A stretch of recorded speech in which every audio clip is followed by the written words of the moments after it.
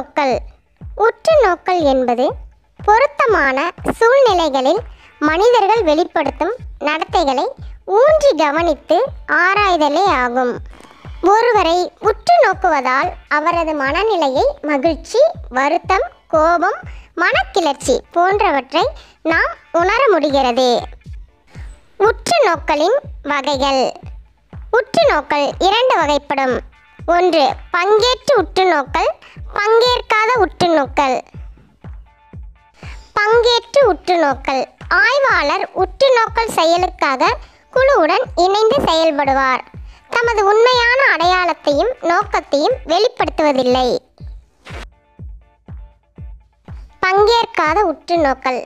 பங்கேற்காது விலகி நின்று உற்று நோக்கி தேவைப்படும் தகவல்களை திரட்டும் முறை.